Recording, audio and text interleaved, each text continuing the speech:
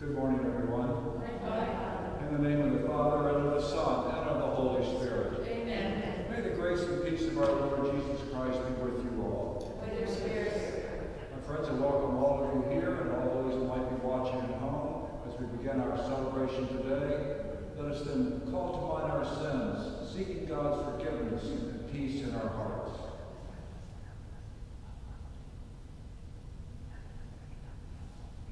You were sent to heal the contrite. Lord, have mercy. Lord have mercy. You came to call sinners. Christ, have mercy. Christ have mercy. You plead for us at the right hand of the Father. Lord, have mercy. Lord have mercy. May Almighty God have mercy on us, forgive us our sins, bring us to everlasting life. Amen. Let us pray. O God, strength of those who hope in you, graciously hear our pleas, and since without you mortal frailty can do nothing, grant us always the help of your grace, that in following your commands we may please you by our resolve and our deeds.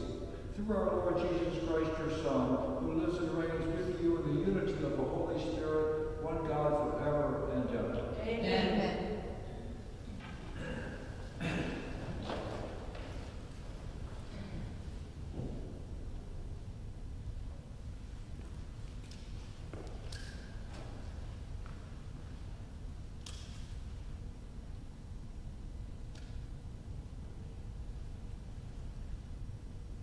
A reading from the book of Sirach. Like a fire, there appeared the prophet Elijah, whose words were as a flaming furnace. Their staff of bread he shattered.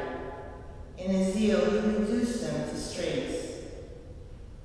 By the Lord's word he shut up the heavens, and three times brought down fire. How awesome are you, Elijah, in your wondrous deeds! Whose glory is equal to yours? You brought a dead man back to life from the netherworld by the will of the Lord. You sent kings down in destruction and easily broke their power into pieces. You brought down nobles from their beds of sickness. You heard threats at Sinai and Horeb avenging judgments. You anointed kings who should inflict vengeance, and as a prophet as your successor.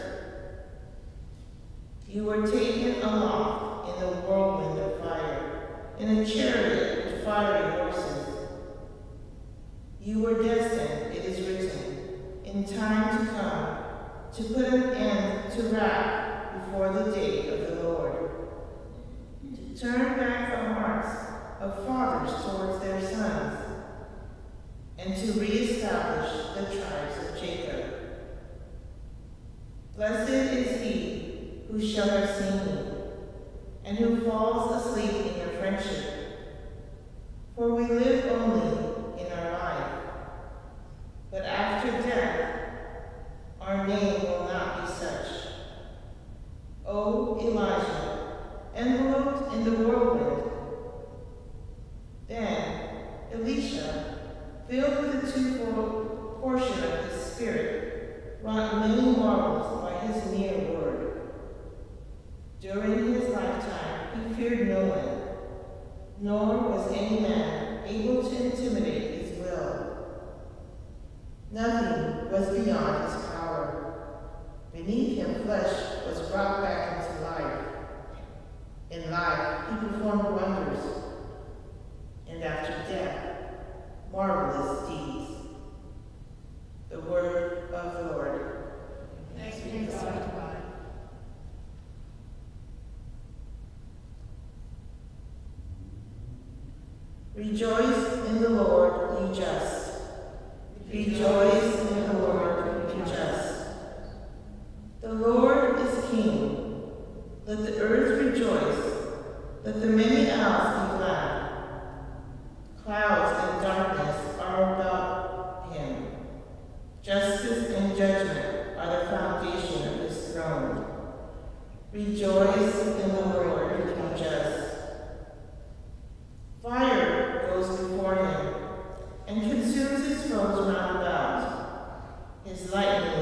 illumine the world. The earth sees and trembles. Rejoice in the Lord, you just.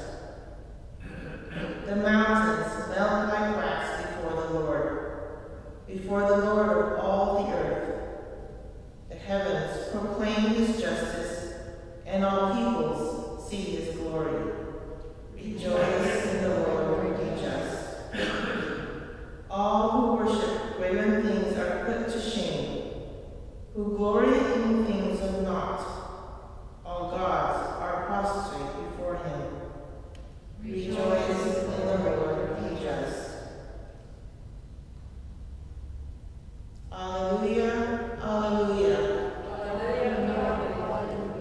You have received the spirit of adoption as sons, through which we cry, Abba, Father. Alleluia, alleluia.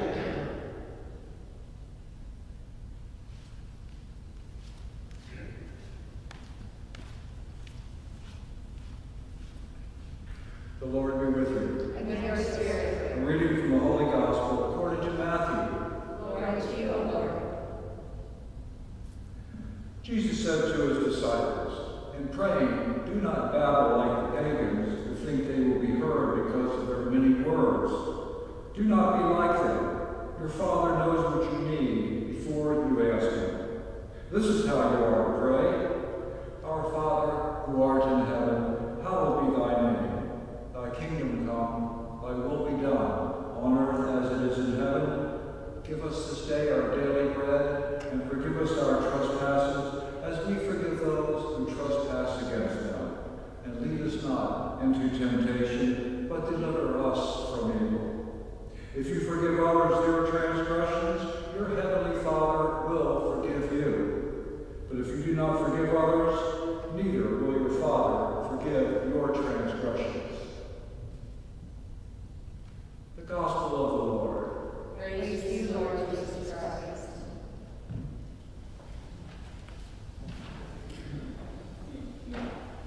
Today's readings continue these contrasting themes from yesterday with Elisha and Elijah and Jesus. Um, we have a contrast of, of those two uh, prophets. Uh, they're kind of fiery prophets. Uh, uh, then we have Jesus, who tells us to pray calmly and, and for what we need and what the world needs. Um, what a show of opposites between these people. Uh, no wonder there were many religious leaders at the time uh, who just didn't, quote, get Jesus and his message.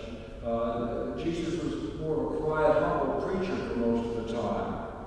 And yet, Jesus did get a little carried away, a little spectacular, uh, prophetically, like Elijah and Elisha, uh, using words like a flaming furnace to chastise the Pharisees. And we probably can all remember the, the spectacular showy deeds that Jesus made of making a, a whip with cords and uh, chasing the money changers out of the temple. So what do we do with all of this? Well, Jesus is a paradox. But that's not all paradoxes. Think of that humble, well-mannered woman who suddenly becomes uh, fiercely protective of her child if her child is threatened. Or think of the tattooed gang member uh, tenderly cuddling his infant son. We all have our moments of calm and quiet prayer, and also our moments of fiery, uh, fierce determinations. Our parents, mentors, and leaders uh, teach us through their words, but more importantly, through their actions. And perhaps this is another reason why Jesus disciples and us not to babble our prayers and go on to lengthy words uh, and exuberance.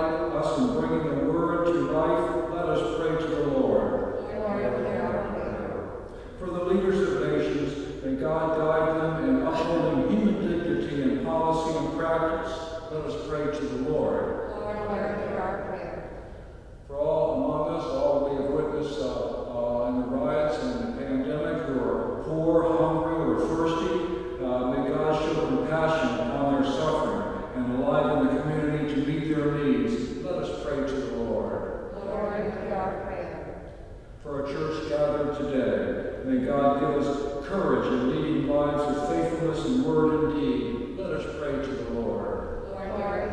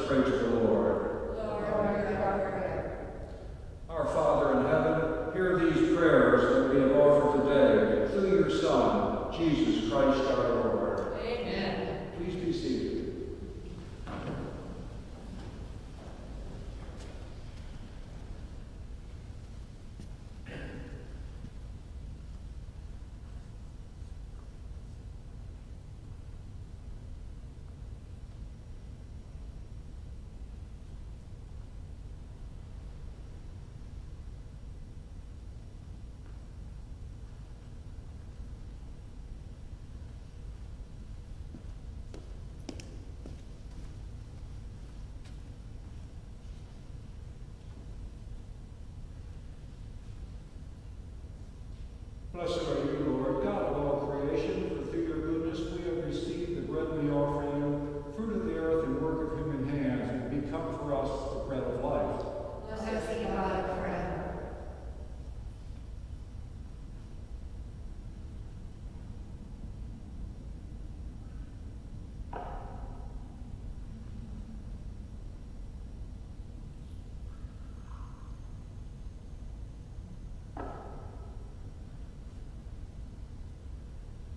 are surrender, Lord.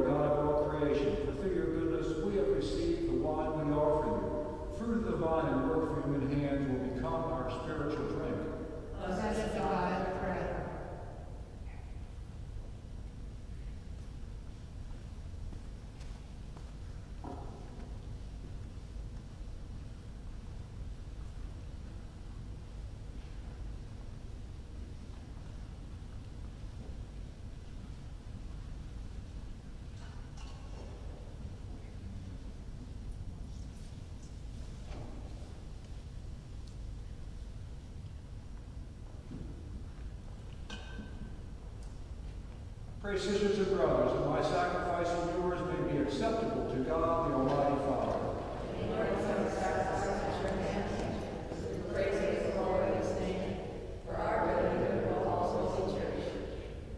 O God, who at the, current, the offerings presented here provide for the twofold needs of human nature, nourishing us with food and renewing us with your sacrament, grant, we pray, that the sustenance they provide may not fail us in body or in spirit, through Christ our Lord. Amen.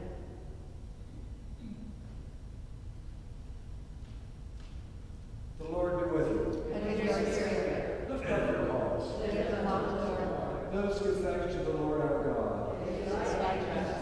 It is truly right and just, our duty and our salvation, always and everywhere to give you thanks. Lord, Holy Father, Almighty Eternal God, through Christ our Lord. His death was celebrated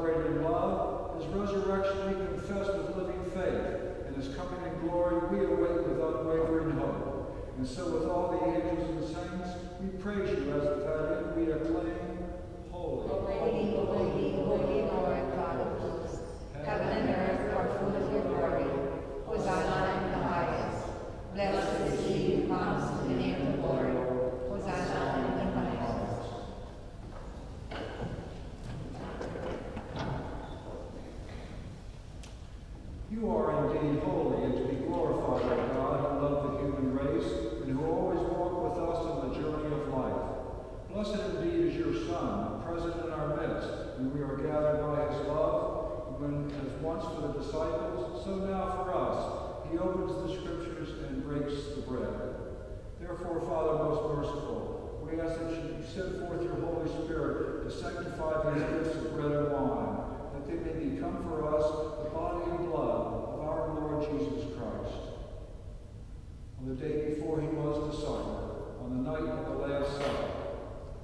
took bread and said the blessing, broke the bread and gave it to his disciples, saying, Take this, all of you, and eat of it, for this is my body, which will be given up for you.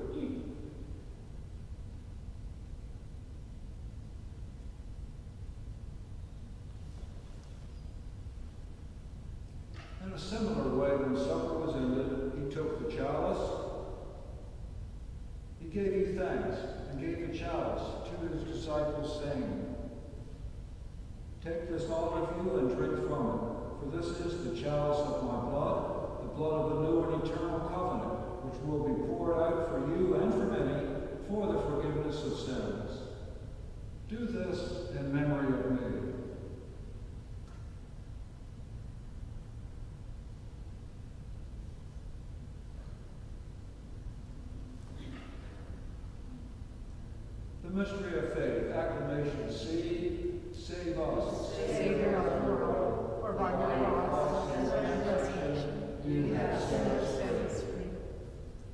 Therefore, Holy Father, as we celebrate the memorial of Christ your Son, our Savior, whom you led through his passion and death on the cross to the glory of the resurrection, and whom you have seated at your right hand, we proclaim the work of your love until he comes again, and we offer you the bread of life and the chalice of blessing. Look with favor on the oblation of your church, in which we show forth the paschal sacrifice of Christ that has been handed on to us. And grant that by the power of the Spirit of your love, we may be counted now and until the day of eternity among the members of your Son, in whose body and blood we have communion. Bring your church, O Lord, to perfect faith and charity, together with Francis our Pope and Kevin our Bishop, with all bishops, priests and deacons, and the entire people you have made your own. Open our eyes to the needs of our sisters and brothers. Inspire in us words and actions to comfort those who labor and are burdened. Make us serve them truly after the example of Christ and at his command.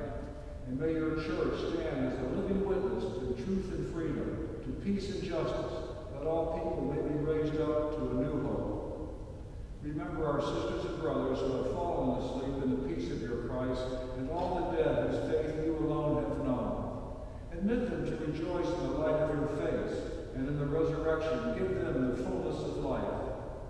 Grant to us also, when our earthly pilgrimage is done, that we may come to an eternal dwelling place and live with you forever.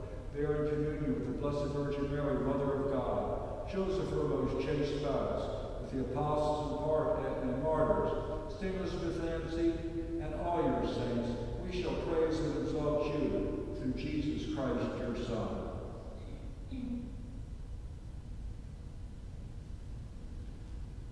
Through him and with him and in him, O God, Almighty Father, in the unity of the Holy Spirit, all glory and honor is yours forever and ever. Amen. At the Savior's command and formed by divine teaching, we dare to pray. Our Our Father, who art in heaven, hallowed be thy name. Thy kingdom come, thy will be done, on earth as it is in heaven. Give us this day our daily bread, and forgive us our trespasses, as we forgive those who trespass against us. And lead us not into temptation, but deliver us from evil. Amen. Deliver us, Lord, we pray, from every evil. Graciously grant peace in our days, that by the help of your mercy we may be always free from sin and safe from all distress, as we await the blessed hope and the coming of our Savior, Jesus Christ. The kingdom, power, and glory are yours now and forever. Lord Jesus Christ, you said to your apostles, Peace I leave you, my peace I give you. Look not on our sins, but on the faith of your church, and graciously grant her peace and unity in accordance with your will, who live and reign forever and ever. Amen. The peace of the Lord be with you always. And your spirit. Let us offer each other the sign of the Lord's peace.